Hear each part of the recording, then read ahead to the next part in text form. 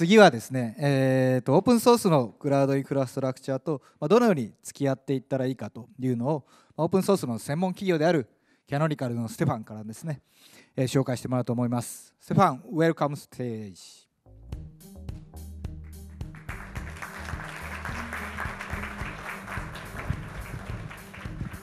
Thank you. Good morning. My name is Stephan Fabel. I'm here to talk to you uh, about the 10 new rules of open source infrastructure. I'm head of product at a company called Canonical. Um, uh, my Twitter handle is there. Feel free to follow me and uh, uh you know, search me out after this talk for more discussion. Happy to, to engage in, uh, uh, in conversation with you about some of the things that I want to talk about today. So who's Canonical? We're a company that's uh, been around for about 15 years. We uh, uh, have offices, as you can see, all over, all over the place. Most of our uh, employees actually work from home. Uh, there's around 600 of them. Uh, we, we, have them spread across 28 countries. And as you can see, there is, um, there is even an office here in Tokyo. So we're very much looking forward to engaging with you even here in, in Japan. And we're most well known for being the the creators of Ubuntu, uh, open source Linux uh, operating system. Um, we're very proud of, uh, of Ubuntu and our delivery of it, uh, whether that be for private cloud or for container-based uh, projects around the world. And you, you know, as we engaged in this journey over the last 15 years, we hit a bunch of really exciting milestones. We're very humbled and very, at the same time, very proud of the achievement and uh, and very glad of the endorsement that the community has given us and has given Ubuntu over the course of those 15 years. And so our mission has always been to uh, provide seamless access and frictionless access to open source, uh, making upstream community contributions available and consumable for enterprises, users, developers, innovators all over the place. And we're very happy um, to have seen this you know, work out so well in so many different spaces. So 60 to 80% of our workloads on the public clouds are based on Ubuntu. We're uh, one of the most popular uh, uh, operating system and base images for your container-based uh, workloads. We are you know, a very extremely popular basis for many, many OpenStack deployments around the world. And we've seen an incredible amount of adoption around the web in hosted Linux as well. But recently, actually, we've engaged in a, uh, in a journey that we're even more proud of, which is uh, we've actually worked uh, earlier this year uh, on our website, our new Japanese website. And when we finally published that in May, uh, uh, we, we actually you know, found out that Japan actually started a new era in honor of this new website. So thank you very much for, for endorsing our efforts so, so graciously. I encourage you to check out uh, uh, our new website here. Uh, but as you can see, even your, your, your, chief cabinet minister is endorsing our efforts here quite well. So thank you very much. Um, but without further ado, I, you know, I, uh, let's dive into the 10 new rules of open infrastructure. And uh, you know, I want to highlight that I don't mean this in the you know, Moses, uh, you know, coming down from Mount Sinai, you know, these are the rules and you shall follow them. Way. This is really just based on observations about things that happened over the last uh, you know, years that we've seen as I engage personally with customers, with users of OpenStack, of Kubernetes, of containers, of Linux. Uh, you know, some of the things that, some of the errors that they've, uh, that they've made, some of the learnings that they take, took away. And so I rephrased them in what I call the, the 10 new rules of, of open infrastructure. So let's dive right in. The first one, and to me the most important one, is that uh, you should consume unmodified upstream. And why is that? Uh, why do I say this? There, uh, in the beginning, especially uh, uh, you know, in the earlier uh, years of, of OpenStack, but also in the earlier years of, of Linux, right? There was this notion that somebody had to come in and turn an open source upstream project into something that is actually better, sort of the enterprise version or the hardened version of something that is upstream. Uh, and maybe that, uh, that may have had a place in, uh, you know, several years ago. But I think it's pretty safe to say that OpenStack unmodified upstream is absolutely uh, able to run all kinds of uh, workloads. Indeed, uh, you know, you heard Mark speak about this this morning, right? The kind of stuff that runs on OpenStack today is simply mind-blowing, and this is not based on somebody coming in and intersecting themselves uh, between what's produced by the community and what is available commercially. And indeed, actually, if you use uh, unmodified upstream, you actually uh, uh, you know, now are able to interact with a much broader set of people who know what's going on. If you are uh, restricting yourself to a special version of something that is available upstream, you're automatically also limiting the availability of support, of people who know what you're talking about, of that common ground and then common basis of, uh, of conversation, right? So it's really, uh, to me, the most important, uh, the most important lesson or the most important rule. You should consume it unmodified upstream. Now, this is, of course, kind of a play on, uh, on, on, the words, right? But, uh, you know, to me, infrastructure is a product. It is not a, a service. It is not handcrafted, valuable, uh, uh, technical debt that only exists in your best engineer's head. And when that best engineer is then taking a different job somewhere else, you're out of luck. It is a product. It has standard requirements, standard attributes. It can be taught it can be uh, handed over, and it can be run, and it can be scaled out that way. If you think about your infrastructure in that fashion, you're able to also understand, for example, that you are going to market with that as a product. When we, as Canonical, sell an OpenStack cloud, we never call it, they bought our cloud. We never talk about it that way. What we say is, we help them go to market with their cloud. We helped our customer implement their cloud. And why is that important? It's important because you're going to be judged, and that, and indeed, not only just uh, infrastructure, actually any project is going to be judged on the commercial viability of it, right? The cost profile that it exhibits, et cetera. And especially when a new product gets started, whether that's the containerization product, or it is a, a you know, a migration phase, as Melanie uh, talked about, or it is uh, you know, simply the rollout of a new uh, uh, infrastructure as a service uh, effort, right? The first year is the most expensive. And I, I'm pretty sure, I don't have hard data on this, but I'm pretty sure that for every, for every cloud that's successful, there was probably 15 that got canned simply because the cost profile after one year didn't work out, right? After a year, somebody looked at this thing and said, look, we spent so much money on, on consultancy and on, on people who knew what they were doing on implementing this thing that you know, it ends up not being viable. So think about infrastructure infrastructure as a product because it will help you uh, and guide you and inform you as you roll this out. And somebody who does this really well is, is Yahoo Japan, right? They uh, really understood that infrastructure is a product. They uh, run their OpenStack in, in, in three regions, right? Uh, it's a pretty sizable OpenStack. It has uh, you know, sizable Ceph cluster that goes along with it. And they are really uh, taking this to heart and are really implementing this. So you should you should talk to uh, Yahoo Japan if you, if you meet them uh, today. Um, so very, very happy to say that they've uh, taken all these lessons to heart and implemented them. You should also automate for day 1826. What's 1826? Well, that's, uh, that's five years, and you know, it has a leap year. It's not always true. Sometimes five years don't have a leap year, and if you don't know why, then you should look it up. It's interesting. Um, but uh, the, the, point is, is that, uh, that most people think they've automated, and it's probably always true that you can always automate more, and there's always more automation possible than you think, and you're almost never done as early as you think with your automation. So for example, most people will, will say, okay, well, I, I have implemented a, uh, a let's say, CI/CD pipeline for my deployment of my, uh, of my infrastructure. But what about other lifecycle management events? What about upgrades? What about integrations? What about things that, that are required, that are ex external, that are required to now interact with your infrastructure? How do you deal with those events? Do you have an automated way to deal with those things? And so, uh, you know, at the end of the day, it boils down to, to are you able to express your desire uh, of the current, of the end state that you want that infrastructure to exhibit? And are you able to kick that process off so that it automatically starts to, um, starts to make that a reality?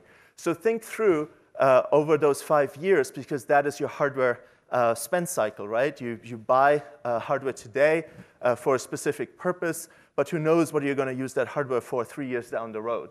You might use it for OpenStack, you might use it for Kubernetes, you might use it for a mix, you might so throw some Ceph in there, Uh, Kubernetes might be running on OpenStack. It may be running on bare metal next to OpenStack.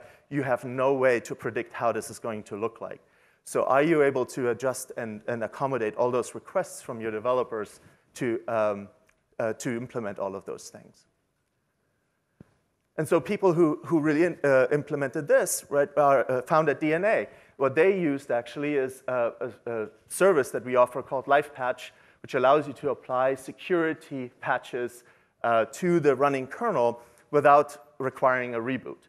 And that helped uh, DeNA prevent unplanned maintenance windows, thereby reducing the operational cost profile of, the, uh, of their infrastructure. And so as a consequence, you know, uh, they were able to be more compelling for their users in their constituency and for their constituency in their, um, in the, for their tenants, basically. You should run at capacity on-prem. Why is that important? Because it's actually very simple, right?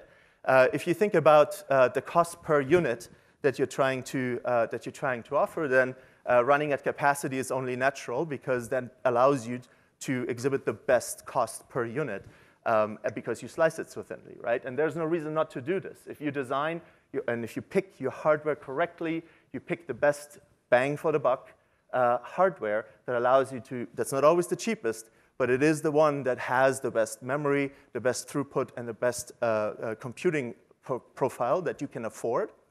And if you implement this, uh, uh, you know, and, and roll this out in your data center, running that at capacity, really, why wouldn't you, right? You want to leverage as much as possible of that on-prem hardware. You should use public cloud for overflow scenarios, for disaster recovery scenarios, for migration scenarios, for all kinds of scenarios where you need a temporary place of things to put. Why is that? Well, I mean, it's very simple. Sometimes you want to rent a car, sometimes you want to own a car. If you want to drive every day, renting at some point becomes not feasible anymore, right? So at that point, you will want to buy a car because you're driving every day. But in other cases, being able to rent a car or just jump into an Uber is quite useful.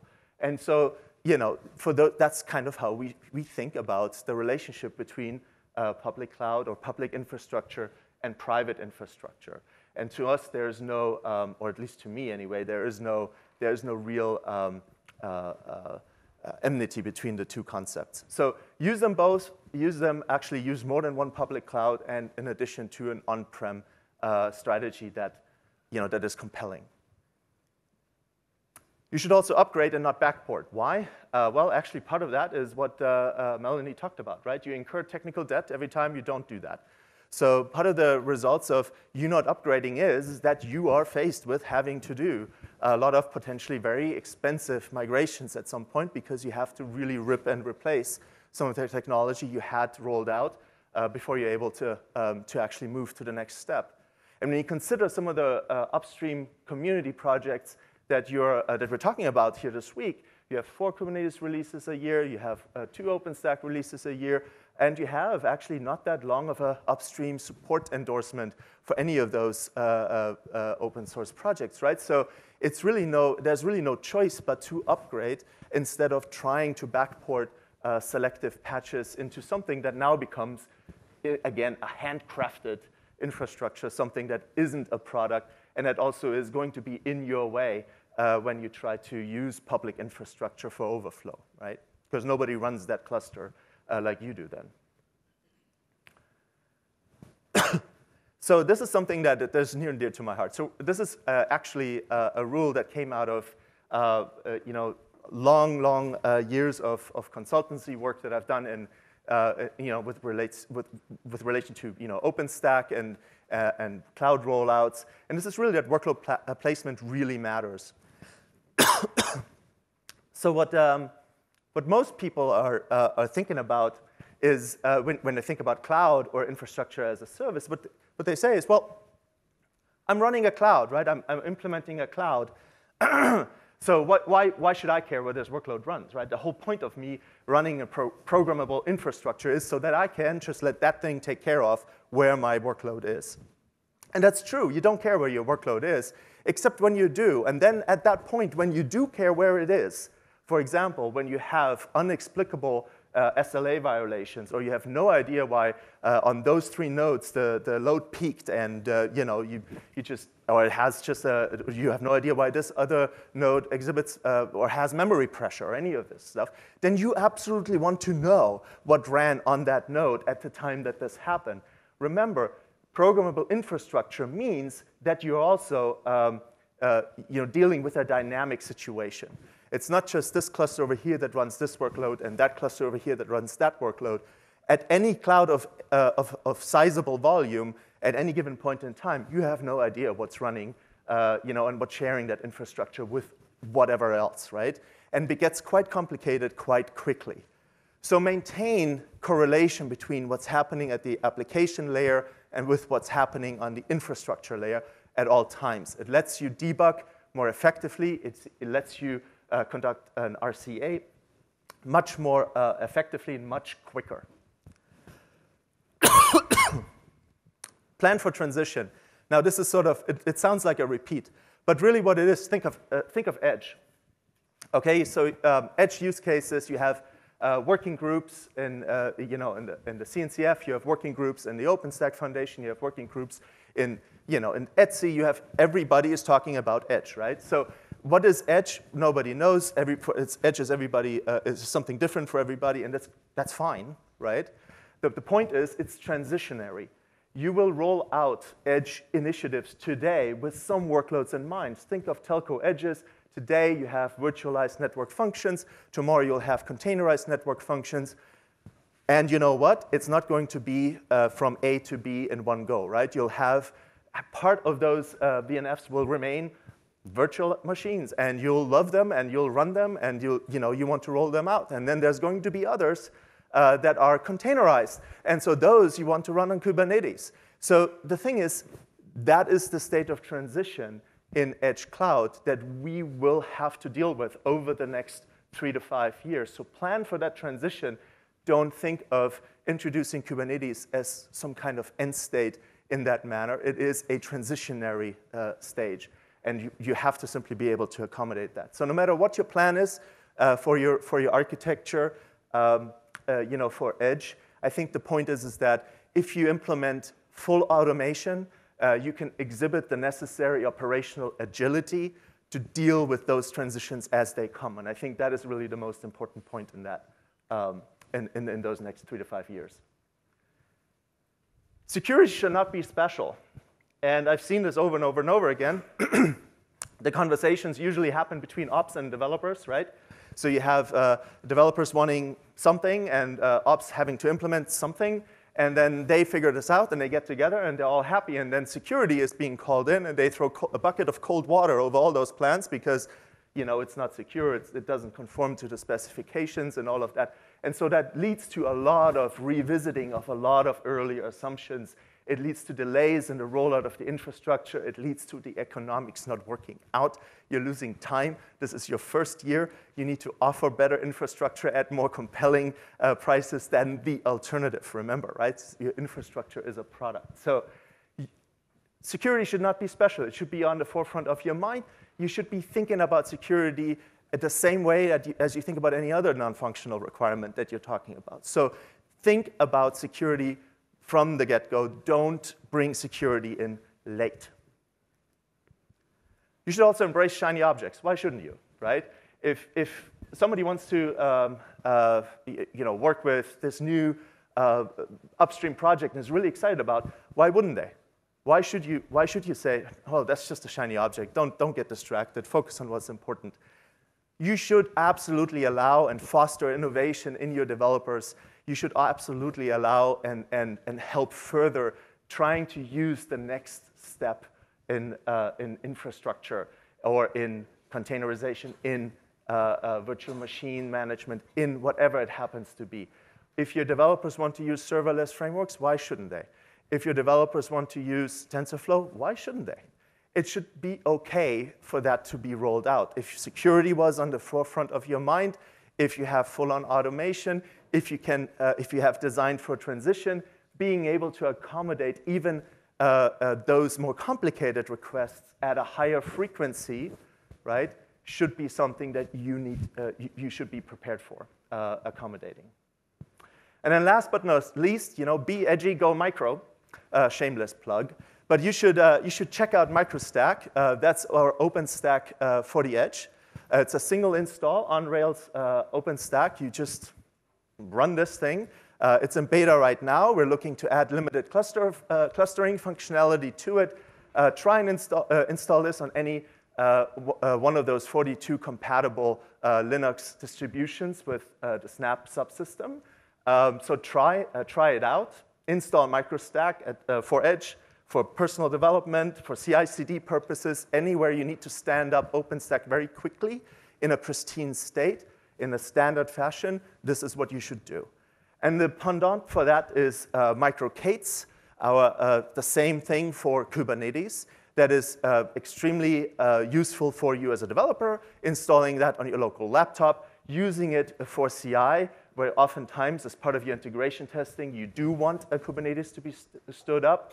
It supports popular plugins as add-ons, for example, Istio, Jaeger, Linkerd, etc. So a lot of the, um, those, those uh, uh, projects that you've seen earlier this morning are actually implemented as an add-on with a simple microK8s.enable uh, and then the add-on name, and you've got that. So you can stand up very, uh, very quickly reference uh, implementations of your Kubernetes uh, for, for all kinds of automation that you might, um, that you might have implemented. So um, that's that. Uh, be edgy, go micro, and uh, uh, you know, your, your, your chief cabinet minister agrees with me. You should check out microk8s.io, uh, and that leads me to the end of my talk. Thank you so much.